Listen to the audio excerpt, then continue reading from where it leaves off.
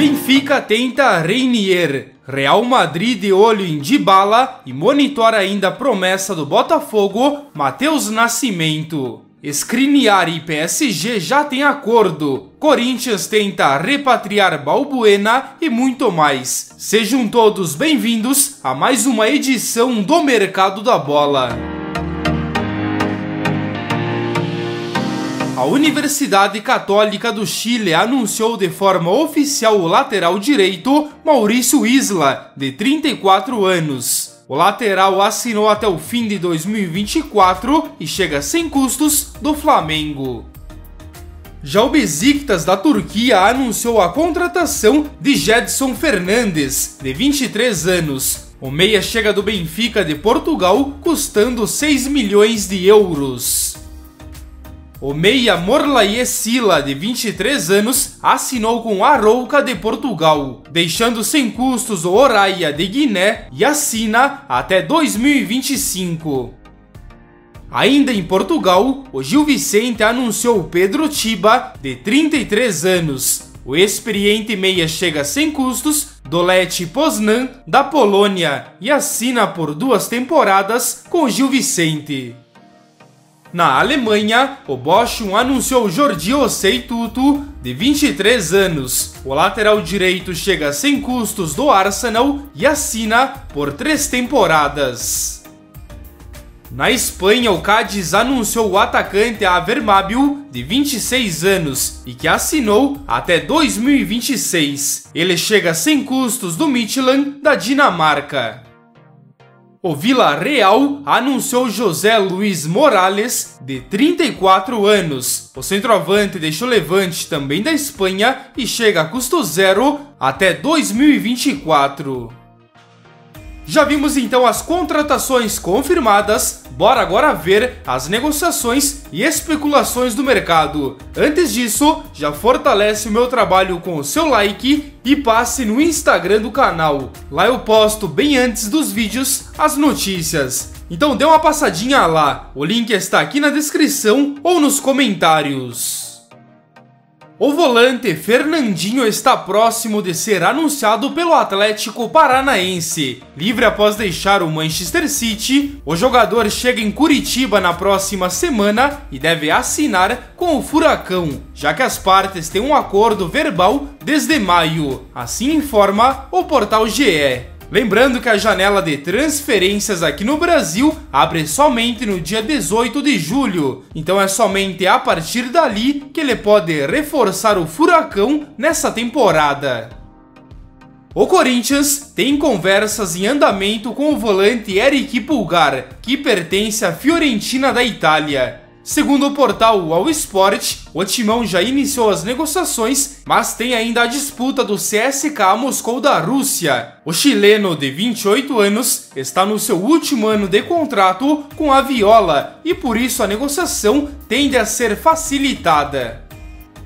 O Timão não para por aí e está de olho também na volta de Fabian Balbuena, visto a possibilidade de negociar João Victor nesta janela. O interesse está em fase inicial e o salário do jogador é considerado fora da realidade neste momento. Neste caso, então, ele vai ter que aceitar uma boa redução. Hoje ele é visto como a contratação de impacto para o segundo semestre e chegaria, claro, pela titularidade. O paraguaio de 30 anos está no Dinamo de Moscou da Rússia e tem contrato ainda até 2025. Segundo a CNN de Portugal, o Benfica é mais um clube interessado no meia Reinier, que é alvo da Roma e de times espanhóis, como o Real Valladolid e o Valência. O Real Madrid vê o jovem de 20 anos como promissor e por isso aceita apenas um negócio por meio do empréstimo neste momento, e então aguarda propostas. Agora o Benfica é mais um clube interessado e vem tentando a contratação do jogador ex-Flamengo. O Porto intensificou as conversas com Vitória de Guimarães pelo meia André Almeida, de 22 anos. O jogador está no seu último ano de contrato e pode custar algo na ordem de 5 milhões. As conversas estão avançadas e podem então ser concluídas em breve. Assim informa o jornal português A Bola. Tony Martinez é uma prioridade do Hertha Berlim nesta janela de verão. Segundo o jornal AS, Ajax e Espanhol estão disputando com o time alemão com o jogador do Porto. Com 24 anos, o atacante pertence ao time português e está avaliado em 5 milhões de euros. O negócio não está descartado. Luiz Soares vem sendo cotado a voltar ao Ajax após a venda de Haller. O time holandês pretende avançar pelo uruguaio de 35 anos, que está livre no mercado após deixar o Atlético de Madrid.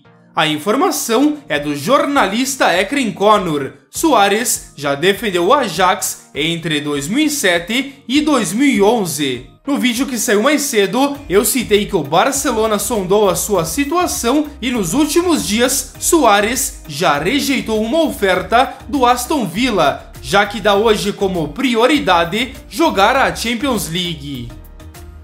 O PSG teria chegado a um acordo nos termos pessoais com Milan Skriniar, assim informa o jornalista Nicola Skira contrato de 5 anos e um salário anual de 7,5 milhões de euros. Resta agora o time francês se acertar nos valores com a Internazionale. A primeira oferta foi de 50 milhões, depois a segunda foi de 60 e novamente foi recusada, onde o time italiano pede 70 milhões mais variáveis. O PSG deve aumentar a oferta, visto que o defensor de 27 anos virou a total prioridade para o sistema defensivo.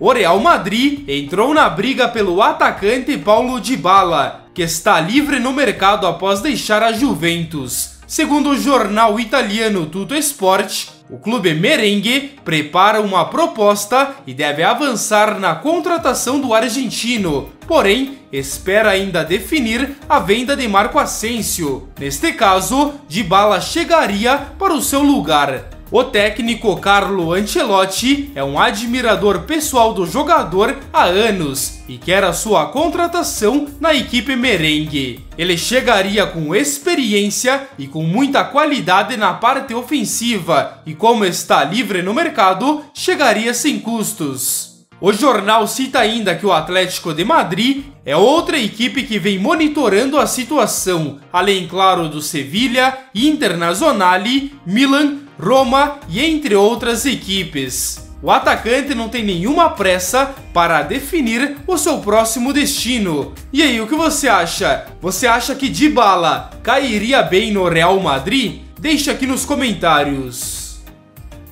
O Real Madrid está de olho nos próximos anos e está monitorando a situação de Matheus Nascimento, que pertence ao Botafogo. A publicação é do jornal espanhol AS. Ele é visto com um potencial camisa 9 para o futuro e por isso está na agenda do clube merengue. Segundo o jornal, o Real pensa em contratá-lo já nesta janela e inicialmente colocar ele no Real Madrid Castilha, que é o time B, que serve deste modo para desenvolver jogadores e que buscam adaptação. O Botafogo, porém, vem tentando renovar o contrato a fim de manter a jovem promessa por muito tempo, visto que, claro, ele pode se valorizar ainda mais nos próximos anos. Com apenas 18 anos, o seu valor de mercado é de 7 milhões de euros. O vídeo de hoje então vai ficar por aqui. Um forte abraço e a gente se encontra em uma nova oportunidade.